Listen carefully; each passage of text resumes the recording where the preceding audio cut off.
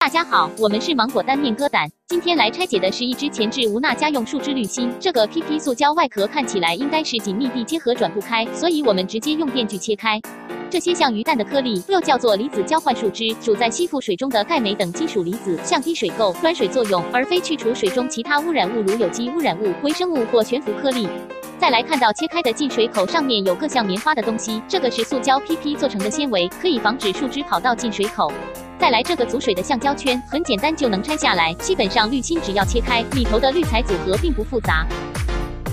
比较复杂的是，导出来的树脂滤材是热固性，这代表焚化炉根本无法消灭它。滤烧遇硬只会碳化，也会降低炉体的寿命。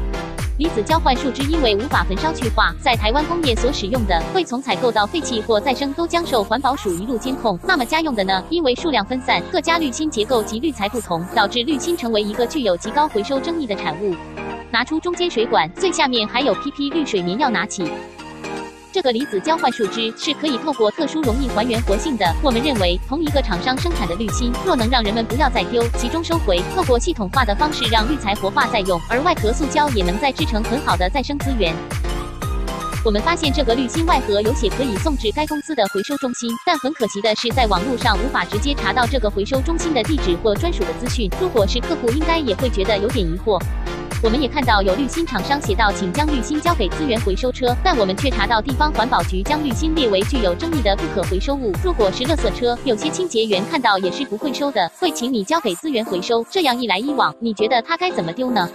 小编也佯装客户打去一间网站写着可回收滤芯的处理厂询问是否可收滤芯，得到该老板的回复是：啊，加两三天，你的蛋棍收家就好啦。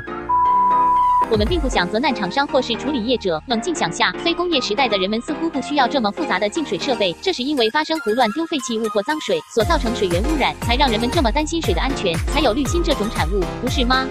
所以芒果单才这么迫切地想要建立属于自己的资源全循环链，我们想让人们所用过的物品不用再丢，让这些可用资源能再利用，而不是被丢弃成为污染，造成恶性循环。